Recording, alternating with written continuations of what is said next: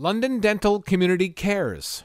The Unity Champions came uh, to the table after I had approached them uh, with the issue that we had in the, the fact that our old building on Dundas Street, Victorian structure, was in dire need of repairs and uh, needed restoration. It had been condemned. The London dental community has a long history of community collaboration and service to the community.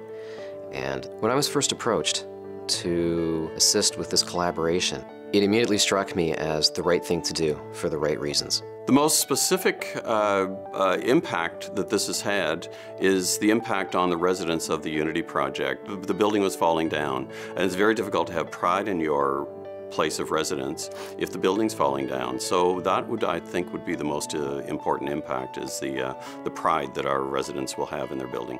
An accomplishment of this magnitude simply wouldn't have been possible without the efforts and talents of a wide range of individuals and businesses throughout the community. For example, we had a lot of assistance from financial institutions, from florists, from tent rental companies, even uh, local department stores. So we had a very wide range of uh, talent to draw upon. The London Dental Community Cares uh, group, which involves not just dentists, but something in the order of 300 different people or groups or companies that were involved, uh, and uh, it was absolutely spectacular. Our group is committed to continuing its efforts to bring together the community for worthy causes. Unfortunately, I can't say right at the moment what that next cause is going to be, but rest assured that in the near future, uh, we will be announcing that.